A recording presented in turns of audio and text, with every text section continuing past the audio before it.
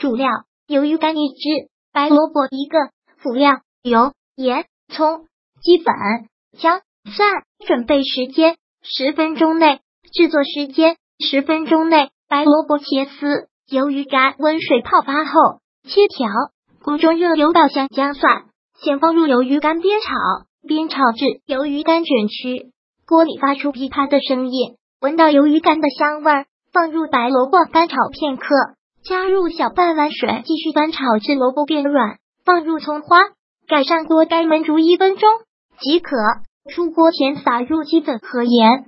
烹饪技巧：鱿鱼干要先煸炒，才会有嚼劲。如果喜欢本视频，请分享并订阅本频道，别忘了按赞哦。